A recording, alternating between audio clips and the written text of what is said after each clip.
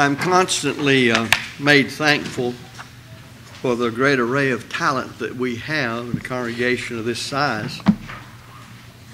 I think now particularly of the song leaders, and we're appreciative of Ryan and his wife being here and Ryan leading singing. I especially thank him for leading number 413. I don't know that we've ever sung that here. I hadn't sung it, maybe you have. In remembrance, I was looking at it, and I don't know whether you noticed who wrote the lyrics or who wrote the music. Brother Rue Porter died back in the 60s. Brother Will Slater. Brother Slater was one of the best songwriters that we had in the Lord's church. And Brother Porter was one of the best preachers and debaters we had. And I labored in areas where he had done much work throughout the early part of the 20th century. Brother Slater was well known in that area, and while I was up there, got to know his brother. And uh, I don't know of finer folks than them. Now, why I say this, uh, who's going to write the songs for tomorrow? Do you have the talent and the get up and go to do it? These folks were just ordinary people, but they knew the importance of such things and they wrote them. It's amazing how many songs we're singing still today that were written a long time ago. I don't see many people interested in doing that today. If they're around, I don't know where they are, but uh, we ought to think about that when it comes to the future. And we're so thankful to sing that song notice how scriptural it, it was and what it set out and the ideas it formed in your mind preparatory to observing the Lord's Supper. This time last week, uh, no one could foresee, though we had an idea there was going to be a lot of rain, no one could foresee what would take place the next really day, but a couple of days in particular. People are dead now that were alive last week. Many people are terrible ordeals due to the loss of property and due to the flood. And I think of Ryan and his family having knowledge of the murder that took place and personal knowledge and how terrible that kind of thing is. And yet, when you turn on your news, you see something like that all the time. And somebody knows those people personally, just like Ryan's family does. But what do we expect? Is it going to get better in this world? No, this is the way the world is. But God expects us to be righteous before Him. And His church is to be holy. And His church is to be the army of the Lord. And we are soldiers in particular in living out the gospel in our lives and in opposing all manner of error. We don't live in friendly times for Christianity.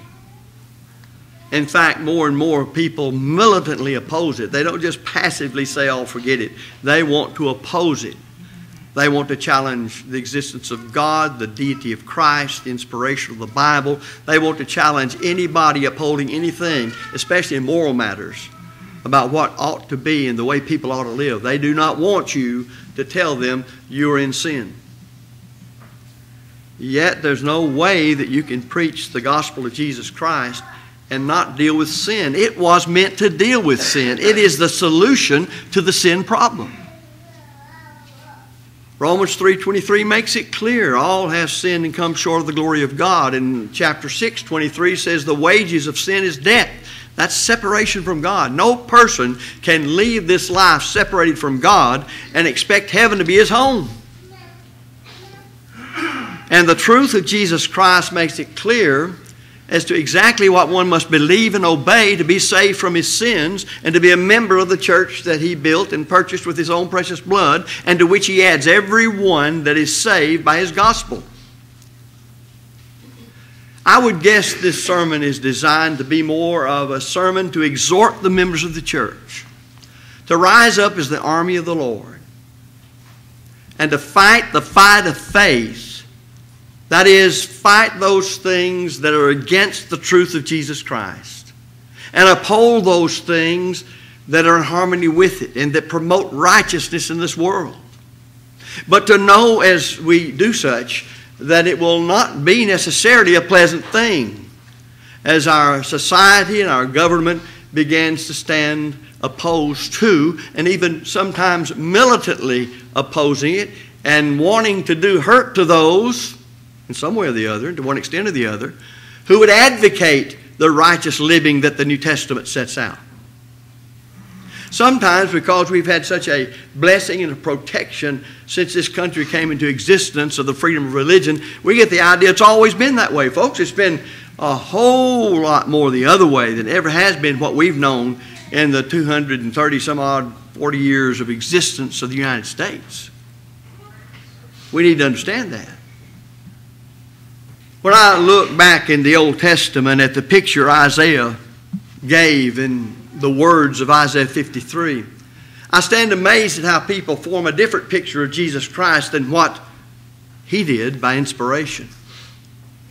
When you look at people painting pictures of Christ, you see almost an effeminate, weak, docile person. You do not find Jesus Christ pictured that way in the Bible. No one could do what he did and resist what he resisted and oppose what he opposed and not be exceedingly strong and courageous Listen to how he's described in Isaiah 53 as Isaiah saw him through inspiration over 700 years before Jesus walked this earth. And remember, Isaiah is called the messianic prophet. He describes him, he is despised and he is rejected. This is in verse 3. A man of sorrows and acquainted with grief then look up in the verse just preceding that. He hath no form nor comeliness, and when we shall see him, there's no beauty that we should desire him. But yet, look at how he's depicted so many times in the movies and the pictures. He didn't stand out as a human being in his appearance physically. There was nothing about him that would uh, draw you to him because of his physical appearance. He is never pictured as somebody that's giddy and silly. He's never pictured as somebody that is full of happiness the way the world defines happiness. Notice that he's a man of sorrows, acquainted with grief, and we hid, as it were, our faces from him. He was despised, and we esteemed him not. Surely he hath borne our griefs and carried our sorrows, yet we did esteem him stricken, smitten of God, and afflicted. But he was wounded for our transgressions, he was bruised for our iniquities. The chastisement of our peace was upon him, and with his stripes we are healed. You see then that God Himself, by inspiration, describes Jesus as a man burdened with a job to do. And He would say things like, The night cometh when no man works. And by that He was saying, While I'm here at this time, I have a stipulated period to do on this earth what I came to do, and I must work the works of him that sent me. While it is day, the night cometh when no man shall work. And I must be about my Father's business, he said at 12 years old to his own earthly parents. That's what he was here to do. And it was a matter of confronting evil you can't read Matthew, Mark, Luke, and John and not see his effort in his ministry to confront that which was wrong, even among and especially among the Jews who should have been welcoming him, who should, by the law of Moses, have recognized him, for the law was the schoolmaster to bring him unto Christ, Galatians 3.24. But they didn't. They had a view that was contrary to the Scriptures. They thought he would come as some kind of David or Solomon in regal glory and establish a kingdom that would even surpass Solomon's and put the Jews in a position of power over all people and be exalted the way one kingdom would exalt itself. But that wasn't the way, and so they were blinded due to their own prejudices and viewpoints and misunderstandings of the law and establishing their own righteousness. They set aside the will of heaven and thus they condemned the very Messiah that came to save them to death, crying, Crucify him, crucify him, when a pagan would have let him grow. They wouldn't have it. And so it is that we have an example in Christ what the spiritual body of Christ ought to be doing. We are members in particular, redeemed by the blood of the Lamb. When we were baptized into Christ, our old sins were washed away by the blood of Christ in the waters of baptism. And we were raised to walk a new life, a new outlook on life, a new concept of life, a new way of living. And we are urged throughout the New Testament and letters written to churches and to individual Christians not to conform to this world, but be transformed by the renewing of our minds. Romans 12, verses 1 and 2. That that's our spiritual or reasonable service to do that. We just finished the auditorium class, 2 Peter, and it's closed. It closes by saying, here's what's going to happen with this present evil world. The material, physical world will be done away. And then he makes the application. In view of that, what kind of persons ought you to be in all holy conversation and conduct? In view of this whole realm going, coming to an end, everything we experience in the flesh, all going to be gone, how should you live? What should you do? How can we preach the gospel to a world caught up in sin? When there are many false gospels that says just keep on living like you want to and it's all right, God will receive you anyway. He's so full of love and grace, He won't turn anybody down. How can we, as the church of the living God, and members in particular, do our part in our day to day walk of life in spreading the gospel to every creature? And the gospel is God's power to save us, Romans 1.16. We are under obligation to preach it to every creature. How can we do that and not confront sin in the lives of the people we are around, in our own family, in the job, in the schools, in the government? We must. It's part of what we do. It's the way that we are the leavening for good in the world. We are the light of the world. We are the salt of the earth. We dare not lose our savor. When is the last time that we plan to confront evil? How many churches of our Lord are advertising, while yet we can so do it in the newspaper, challenging evil on every hand? All this complaining and carrying on about homosexuality and transgender whatever, just old ungodly corruption. How many churches of our Lord have challenged these people publicly and said, Here is where we stand. And we are welcoming your ability to stand up and be counted and prove to us what you're advocating is right. And we'll meet you on the polemic platform publicly and expose it. We're not ashamed of our Lord nor His gospel nor Christian living as set out of the New Testament. But we're not doing it. All you got to do is look at Jesus Christ, and he went about every day doing good. And part of that good, most of that good, was teaching people what was right and what was wrong, and showing them how they needed to come out of the wrong and embrace the right. Even declaring of himself that he is the Son of God, the Messiah, the one Isaiah spoke of. I hesitate not to say the church of our Lord is on this earth because people have believed and from the heart obeyed the gospel, and the Lord has added them to the church. Now, what are they to do? What are we to do if you're members of the church? What are we to do to make our calling and election sure if we're not to follow in the footsteps of Jesus? Peter says in, in, when it comes to suffering, he's left us an example that we should follow in his steps. Well, he's left us an example we should follow in his steps in the confrontation of evil and in being righteous examples and how to be both. And he expects it of us. And yet we sort of silently complain and mutter, but we don't get too loud about it. In Psalm 119, verse 128, the psalmist said, Therefore I esteem thy precepts concerning all things to be right. But he doesn't end there. He then says, And I hate every false way. Do you? You, you can't esteem the precepts of God to be right and not hate everything contrary to them. It's obvious that the love of God will bring about a certain kind of hate. And yet you're here today. Now, if you really love God and you're really a Christian, you won't hate anything. The cry of many churches today is to love God, love your fellow man, love your neighbor, love your brothers and sisters in Christ, love the devil. They have it all mixed up on the Bible doctrine of love. They don't understand it. Even when it comes to talking about the love of God, they don't realize that the true proof of your love and my love of God is to keep His commandments. If you really have faith, trust, and confidence in God on the basis of what His Word teaches, the only true proof of it is to keep His commandments. For faith without works is dead. And that's talking about obedient works. And the same is true of love. If you love me, Jesus said to the apostles, those on this earth that were so near and dear to Him, He said, You will keep my commandments, John 14, 15.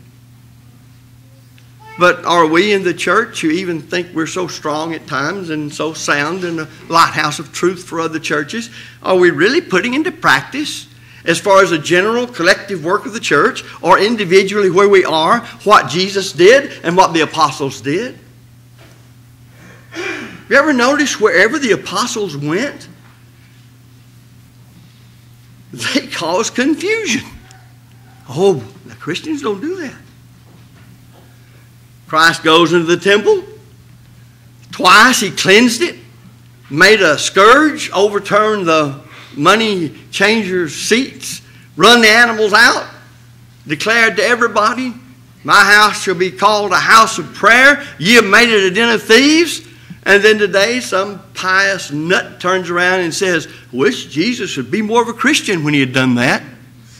Now that's where we are, brethren. That's a joke, I know, but that's where people are when they follow a false concept of love and grace, mercy, tenderness, and kindness to a degree it's never taught in the Bible.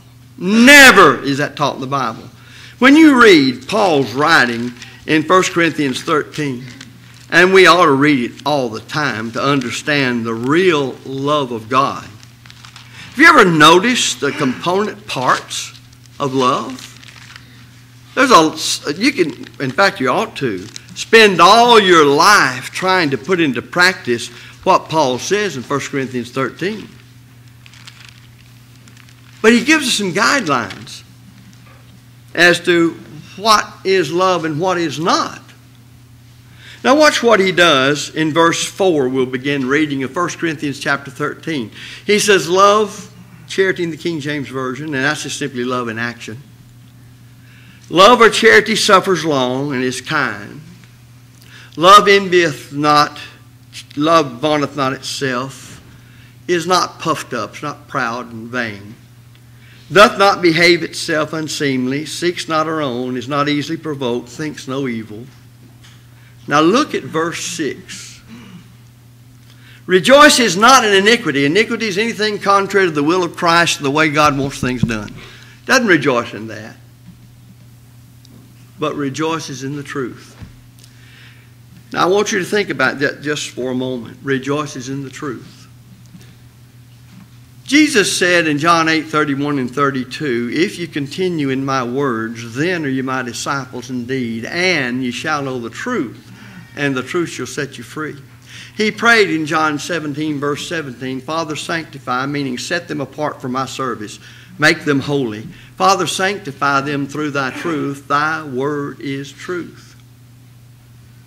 You can say that something is an act of love, but listen, if it's contrary to the truth as it is in the Word of God, it's not an act of love.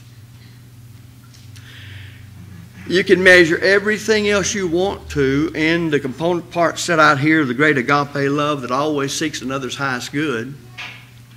But the highest good of anybody is to get them to believe and know and do the truth.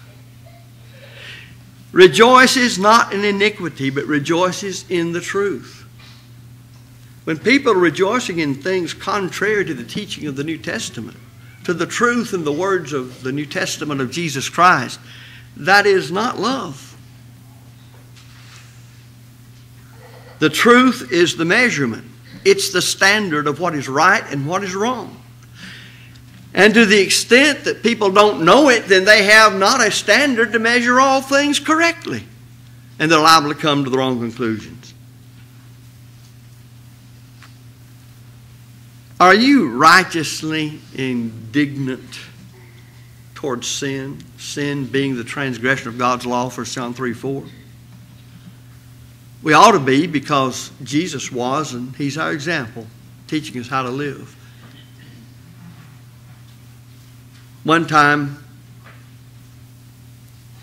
we had this happening in the life of Christ. in Mark 3, the first six verses.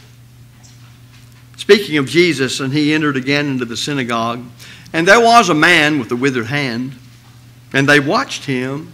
Folks, let me tell you something. The world's watching us. Our own brethren are watching us to see what we do and how we do it and when we do it because the world reads what Christianity is by the conduct of the members of the Lord's church, those who claim to be Christians. So they watched Jesus. And what they watched him for was to say, whether to see whether he would heal this man on the Sabbath day. It wasn't a matter of healing him, they wanted to see if he'd do it on Sabbath day. And they were looking for something that they might accuse him of because they were following their traditions as to the way the Jews were to conduct themselves on the Sabbath day and not the teaching of the law of Moses. And he saith unto the man which had the withered hand, Stand forth. And he saith unto them, Is it lawful? In other words, did Moses teach? Is it according to the law of Moses? a good thing to do good on the Sabbath days or to do evil, to save life or to kill. But they held their peace. Rightly, they should have, for their, they may have learned by now you don't answer his questions. You just get in bigger trouble when you answer his questions. And when he had looked, now watch here, here's the Son of God who loves us, was coming to die for us. And yet look to his own people who should have recognized him and, he looked and, he, and when he had looked round about on them with anger, being grieved for the hardness of their hearts. You know, you can be grieved at people's sin still be angry with them. But you notice, as I've said so many times, and it's so true, but we don't get it. Jesus never got angry at people treating him personally in a certain way. But he got so angry at people righteously indignant because of their lack of love and mercy and their disposition toward the word of truth that caused them to violate it and still think they were acceptable to God.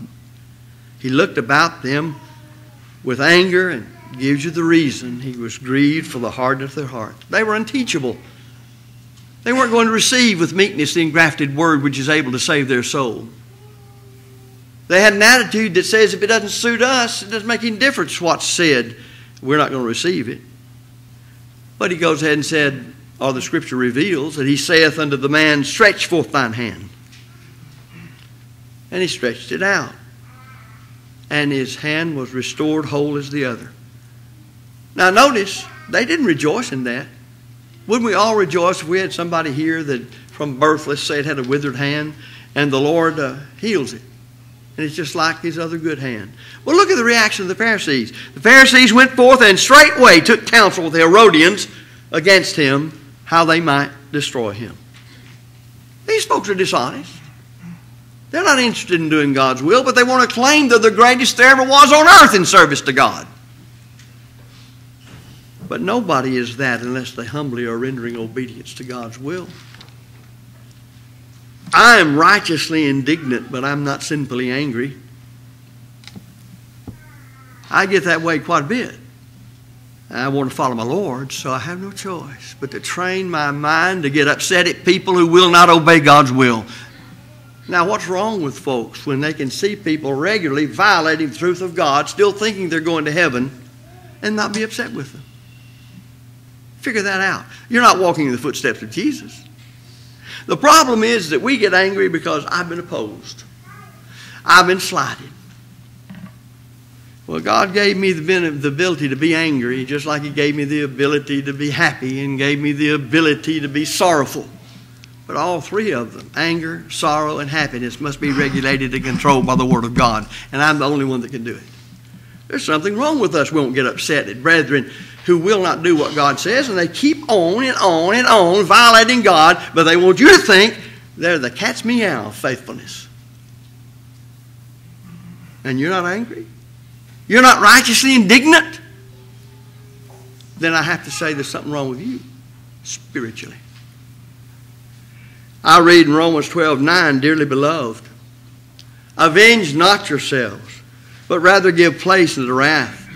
For it is written, Vengeance is mine, I will repay, saith the Lord. You see, He's perfect in His knowledge of everything there is about you, motives, etc. If I wanted and had the right as a mere human being, if I had authority from God to punish somebody, I could never punish them knowing that they actually needed it and that was what they deserved. Justice called for it. I couldn't do it like God does. I don't have the power to do it. I don't have the knowledge to do it. I can't know everything there is about somebody from the beginning to the end and know it flawlessly. We're dealing with the God who says concerning his knowledge, getting on our level of understanding it and the omniscience of God, even the very hairs of your head are numbered. And a sparrow doesn't even fall that doesn't know about it. That ought to impress us. I don't know that it does, but a lot of things ought to that don't. It ought to enlighten us and teach us. Seeing it as a righteous thing with God to recompense tribulation to them that trouble you, and to you who are troubled, Paul writes, Rest with us. When the Lord Jesus shall be revealed from heaven with the mighty angels, in flaming fire, taking vengeance on them that know not God and that obey not the gospel of our Lord Jesus Christ, who shall be punished with everlasting destruction from the presence of the Lord and from the glory of his power. 2 Thessalonians 1 6 through 9. Let me ask you something.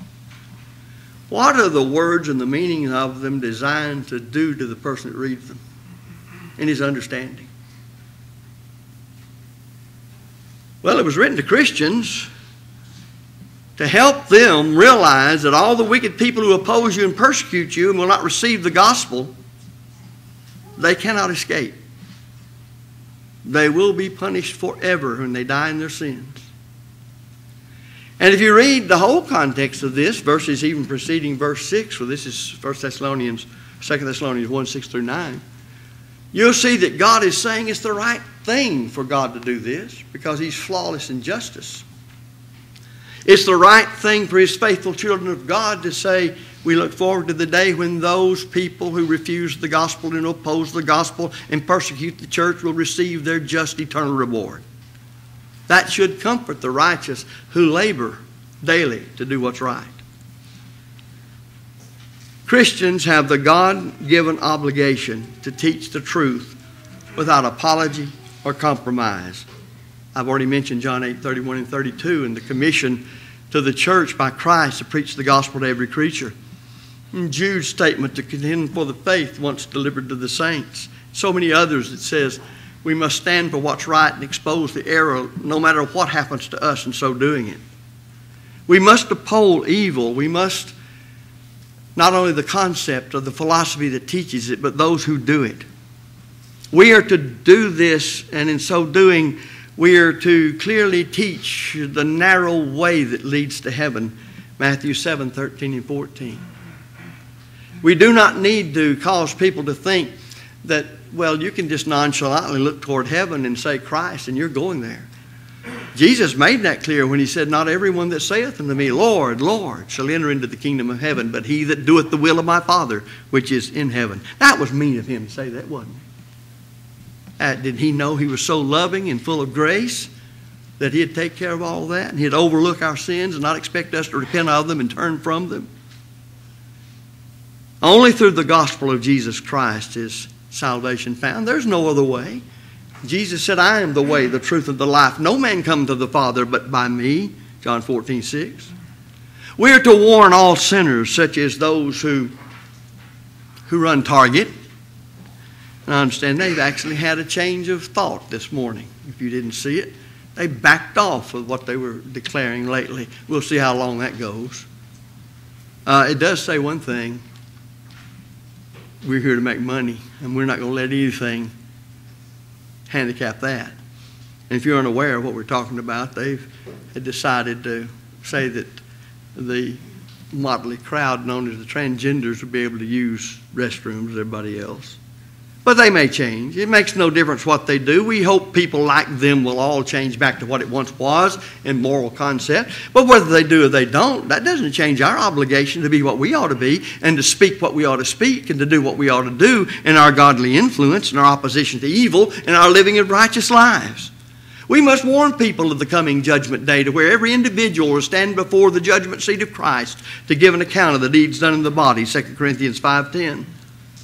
At that time, God will condemn the majority of all men who ever lived who were accountable to Him, because most will follow the easy way, and few will have heard God's will and humbly all their life lived it. When the Son of Man shall come in his glory, and all the holy angels with him, then shall he sit upon the throne of his glory. You think they have any concept of that? And before him shall be gathered all nations, and he shall separate them one from another, as a shepherd divideth the sheep from the goats. And he shall set the sheep on his right hand, but the goats on the left. Then shall the king say unto them on his right hand, Come, ye blessed of my Father, inherit the kingdom prepared for you from the foundation of the world. For I was hungered, and you gave me meat. I was thirsty, and you gave me drink. I was a stranger, and you took me in naked and you clothed me. I was sick and you visited me. I was in prison and you came unto me. Then shall the righteous answer him, saying, Lord, when saw we thee and hungered and fed thee, or thirsty and gave thee drink? When saw we thee a stranger and took thee in, or naked and clothed thee? Or when saw we thee sick or in prison and came unto thee? And the king shall answer and say unto them, Verily I say unto you, inasmuch as ye did it as ye have done it unto one of the least of these my brethren, ye have done it unto me. Then shall he say also unto them on the left hand, Depart from me. Somebody puts this up every once in a while on Facebook. The most scary words to ever hear Depart from me. I never knew you. And that's true. Can you picture yourself standing there and Christ saying, Depart from me? Ye that work iniquity, and everlasting fires prepared for the devil and his angels. And you know what you'll do? You'll depart from him and you'll go there. Every king and every queen and every parliament and every congress and all the people of the world who boasted of this world and loved this world, but who would not give ear to the truth and who arrayed themselves against it, they will depart at his command. There'll be no choice. And so will we if we haven't been faithful. He tells them then in the rest of this how they didn't do what the righteous did. And they thought they did, but you must remember, you can do all sorts of things that are right and holy and helps other people, but if you're not one of those who's been redeemed by the blood of the Lamb and your obedience to the gospel and faithful adherence to submitting to His authority set out only in the New Testament, it will not be counted. It does not count. It will not get you to heaven. You must be doing what God said do in the way God said do it, and for the reason or more than one reason He said do it. You must be fully obedient to His will, or it doesn't count. You can stand there on the day of judgment and say, All my life I believe you were the Son of God. Well, if He were to reply, He may ask, Well, did you repent of your sins confess your faith in me? Were you immersed in water by the authority of Christ for the remission of sins in the name of the Father, Son, and Holy? No, but I believed in you. You know what you're going to hear? Depart from me. I never knew you. And for those of us in the church, well, we've done that, haven't we? How much of the New Testament is written to those in the church that have done that to keep them faithful? Most of it. Now, why? It's too easy to know it and do it, and then it comes right down sticking with it all your life. You quit. Are you faithful like the New Testament says you're faithful? Will receive, Depart from me too. Ye that work iniquity. When you do things and thought in your mind it's serving God, but it's not authorized by the Bible, it's iniquity. It's sin. All this is found in Matthew 25, 31 through 46. He shall answer unto them, saying, Verily I say unto you, inasmuch as ye did it not in one of the least of these, ye did it not to me, and these shall go away into everlasting punishment. But the righteous into life eternal. In Matthew 13, 40 through 43, he also dealt with this. This deals more among those who think they're servants of God, but they're not, compared and contrasted to those who really are. That is Matthew 25, 31 through 46. But then listen to this. As therefore the tares are gathered and burned in the fire, so shall it be at the end of the world. The Son of Man shall send forth his angels, and they shall gather out of his kingdom all things that offend and them that do iniquity, and shall cast them into a furnace of fire. There shall be wailing and gnashing of teeth. Then shall the righteous shine forth as the sun in the kingdom of their Father. Who hath ears to hear? Let him hear. Now you see kingdom here, but let me remind you, Christ is over the whole world, but only those that believe the gospel and obey it are those that really submit to it. Kingdom here is not used to mean the Lord's church. It's meant the whole of the world where He has authority. And the Lord's going to separate the church out from those in the world. We must understand that. So I close by saying we must use every right way and means to expose sin, to rebuke the sinners, and to call them to obey the gospel. It's the only hope they have. We must not be afraid of government. We must not be afraid of corporations. We must not be afraid of news media. We must not be afraid of educational institutions or anyone anywhere when it comes to our discharging our Christian obligations to declare to all people at all times God's truth and the demands God makes on people if heaven would be their home. Our attitude and our conduct must be as stated by the peerless Apostle Paul when he wrote to Timothy these words Preach the word be instant in season, out of season. Reprove, rebuke, exhort with all long suffering and doctrine. For the time will come when they will not endure sound doctrine, but after their own lust shall they heap themselves teachers having itching ears, and they shall turn away their ears from the truth, and shall be turned unto fables. But watch thou in all things, endure afflictions, do the work of an evangelist, make full proof of thy ministry Paul then says, For I am now ready to be offered, and the time of my departure is at hand. I have fought a good fight. I have finished my course. I have kept the faith. Henceforth there is laid up for me a crown of righteousness, which the Lord the righteous judge shall give me at that day. And not to me only, but unto all them also that love is appearing. 2 Timothy 4 2 through 8. The Apostle John reminds us that the whole world lies in wickedness and we must face it for what it actually is. 1 John 5 19. We must conduct ourselves all the time as Christians.